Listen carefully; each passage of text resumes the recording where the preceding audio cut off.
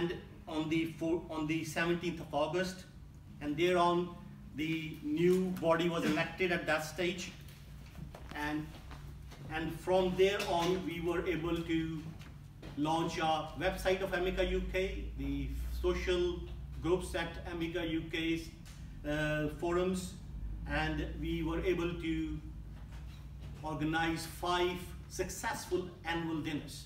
And the recent one in Manchester was the most successful dinner, and we were able to book the hall to about 300 people.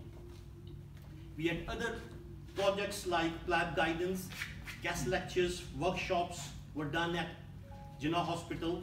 We had a public health awareness program. Scholarship, as Nair Abdi has mentioned, was the highlight of the projects of uh, AIMCA UK, where we are uh, giving seven at this stage scholarship to the deserving students of AIMC. And I'm sure a lot of donors are sitting here today of that project. We were able to launch our IELTS innovative uh, program in AIMC where about 200 students, they were benefited from that.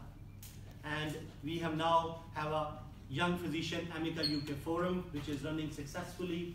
We recently organized a PLAB guidance uh, seminar in auditorium of uh, Allama Iqbal Medical College, which was uh, well attended. And uh, secondly, we are also organizing a research seminar on the 3rd of January